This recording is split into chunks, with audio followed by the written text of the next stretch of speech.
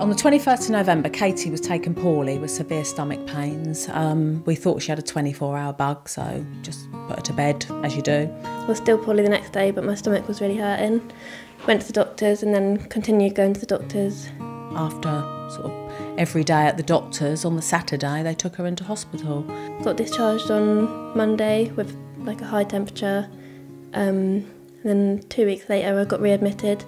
Saw lots of different doctors, lots of different di- diagnoses. They did a CT scan, which they found that she'd had a burst appendix, which was notably missed. Um, I just wanted the pain to be gone.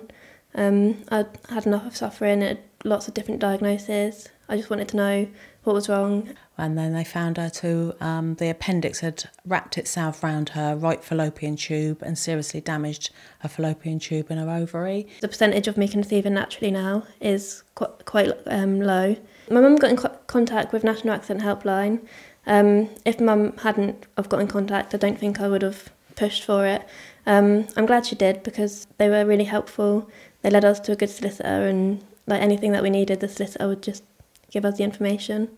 After I had spoken to the lady at National Accident Helpline, um, a solicitor contacted us during the week and uh, we had to give her a summary, a chronology of what had happened to Katie. When the claim finally settled, just before it settled, we got a letter of apology from the hospital.